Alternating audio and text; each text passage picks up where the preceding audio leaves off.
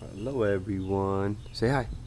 Today's video is how I keep Gohan's coat looking good and healthy and with no fleas to very little because Gohan doesn't have that many fleas and it's because how I shower him.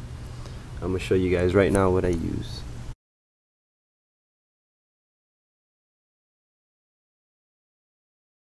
Towel, bucket, comb, vinegar, and whatever shampoo you use. This is him now, wet.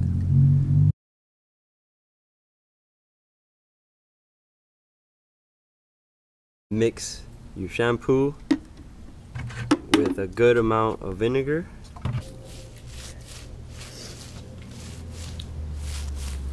And after all of that, this has to be the funniest part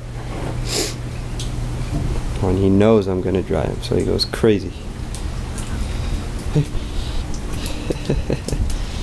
the backyards get way too full of water and hair, so I just comb them in the front yard. A good tip is always to comb your dog after you shower very well. This is most of the hair I collected. Now Gohan looks great and clean.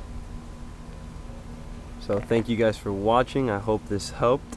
If you have any questions, leave them below. I'll answer them all. Don't forget, like Gohan's Facebook page. I post more information and stuff there. All links are down below. Bye. Oh, good boy.